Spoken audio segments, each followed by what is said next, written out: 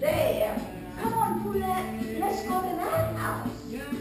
Oh, and the closer they got, the louder the music got. Oh, and they thought for sure that was going to be a nice lady that was going to give them some food.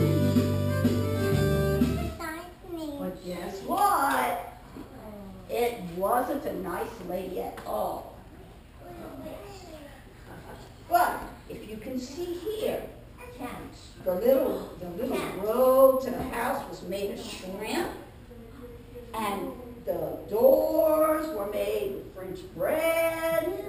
And the house was made with some beignets, some, some French donuts, and they had all kinds of good Cajun food that made the house.